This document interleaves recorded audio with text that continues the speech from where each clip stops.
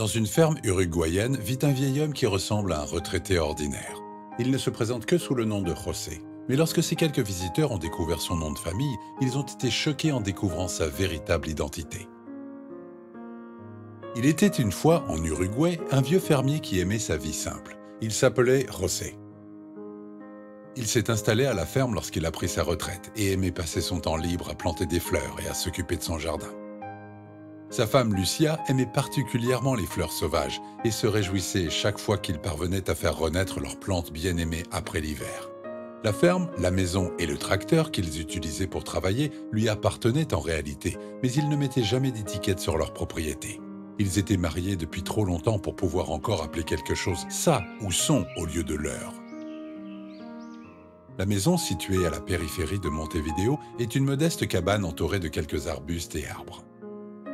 Rosset gagnait beaucoup d'argent lorsqu'il était dans la force de l'âge, mais il ne percevait pas de pension de son ancien employeur et ne disposait que de 1600 euros sur un compte d'épargne. Sa maison avait donc l'air un peu délabrée de l'extérieur, mais elle était suffisamment chaleureuse et accueillante pour lui et sa femme. La route qui menait à la ferme n'a jamais été bitumée ni goudronnée, car pratiquement personne ne rendait visite à Rosset dans sa cabane. Toutefois, si quelqu'un décidait de lui rendre visite sans rendez-vous ni préavis, les deux retraités l'accueilleraient toujours avec un sourire accueillant. José et sa femme aimaient faire en sorte que leurs rares visiteurs se sentent comme chez eux. Ils portaient des vêtements décontractés et José se vantait souvent de n'avoir jamais porté de cravate de toute sa vie. Son ancien travail l'exigeait, mais il n'a jamais cédé. En fait, il n'a jamais cédé à la plupart des exigences de son travail. C'est pourquoi il a laissé toute cette vie derrière lui lorsqu'il a pris sa retraite. Il était un homme important avec beaucoup de responsabilités, mais il dit toujours qu'il préfère l'agriculture et la transpiration à son ancienne vie de tous les jours. Pour lui, sa fonction prestigieuse était un devoir à accomplir avec gravité et non quelque chose dont il fallait se vanter. Pour être honnête, José a toujours été très atypique dans son rôle. Il n'aimait pas serrer les mains et préférait toujours la compagnie de sa chienne à trois pattes, Manuela, au regard élogieux de ses collègues et employés. Il avait l'habitude d'avoir un chauffeur qui l'amenait où il voulait, et lorsqu'il a pris sa retraite, il a laissé ce luxe derrière lui pour acheter une vieille voiture qui est idéale pour transporter sa femme et son chien au marché des agriculteurs de la ville et vice-versa. Comme la plupart des agriculteurs, Rosset prend rarement quelques jours de congé pour se détendre et profiter de son temps libre. Lorsqu'il le fait, il aime dîner dans des restaurants ordinaires au bord de la mer et prendre des repas légers avec sa petite famille. En somme, José est un homme ordinaire avec une vie ordinaire. Mais il n'a pas toujours été ce qu'on appelle normal. C'est au cours de l'une de ses vacances sporadiques que quelqu'un a pris une photo de lui, l'a publiée sur Facebook, et que le pays tout entier a eu un aperçu choquant de la vie d'un homme dont le nom était autrefois sur toutes les lèvres. Il y a quelques années, le nom de famille de Rosset était associé à la honte. Une partie de son travail prestigieux consistait à prononcer des discours devant des milliers de personnes, et lors de ces discours, José était rarement subtil et poli.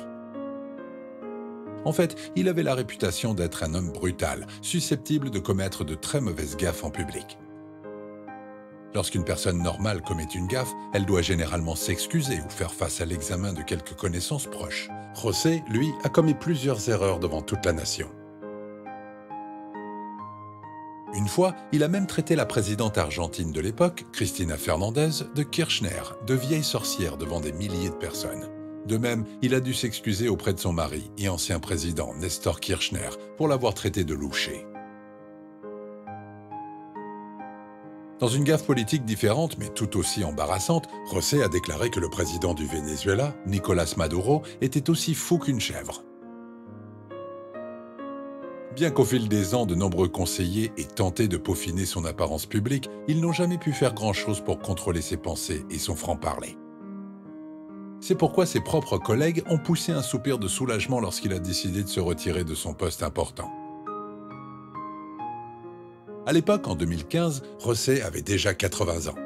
Il n'a pas disparu de la scène tout de suite, mais a occupé un autre poste dans le même domaine et y a consacré 5 années de plus de sa vie.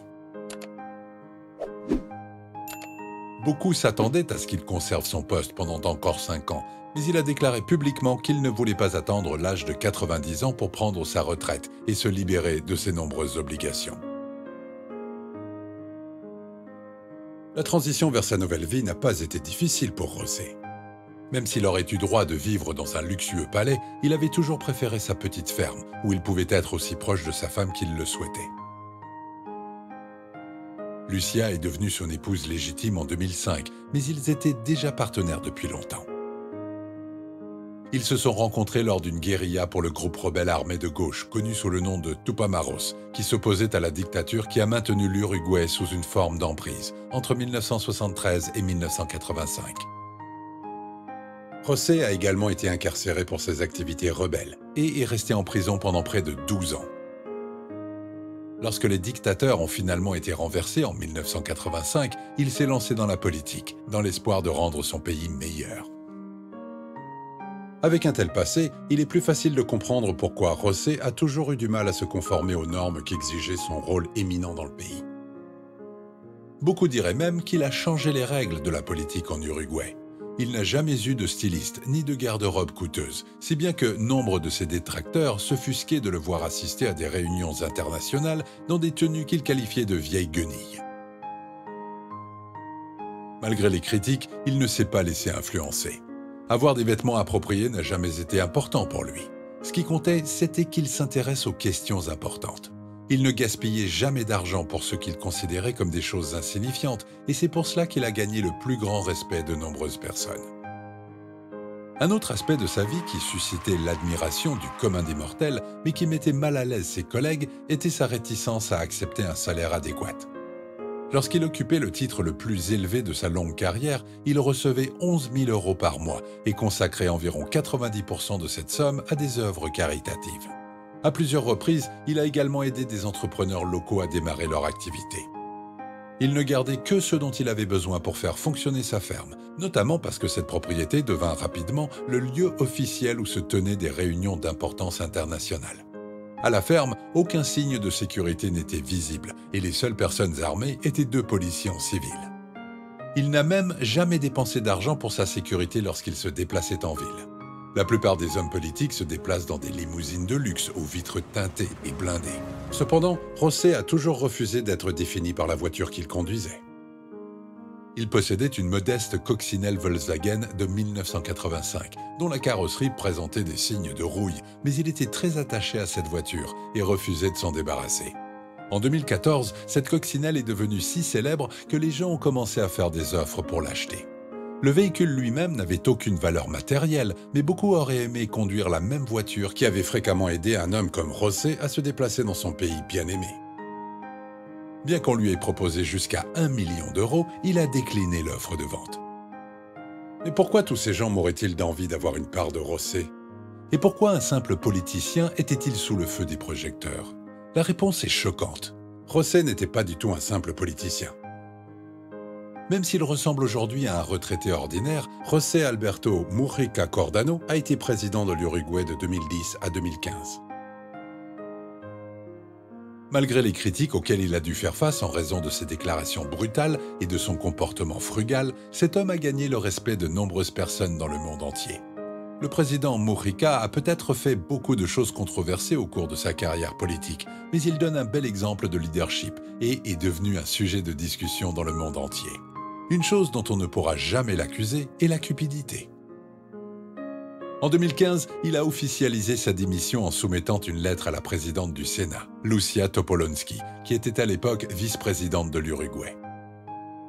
Il est intéressant de noter qu'elle a également été l'épouse du président Mujica pendant les dix dernières années, et comme vous l'avez peut-être deviné, qu'elle l'est toujours aujourd'hui. Après une longue carrière politique commune, ces deux tourtereaux peuvent enfin profiter des dernières années de leur vie, entourés par la paix et la tranquillité, et par les quelques personnes qui s'arrêtent dans leur ferme pour apercevoir l'homme qui a redéfini la fonction de président. Que pensez-vous de José Mujica? Suiveriez-vous son exemple si vous deveniez un jour président? Dites-le nous dans les commentaires. Merci d'avoir regardé et à bientôt pour une nouvelle vidéo sur la chaîne.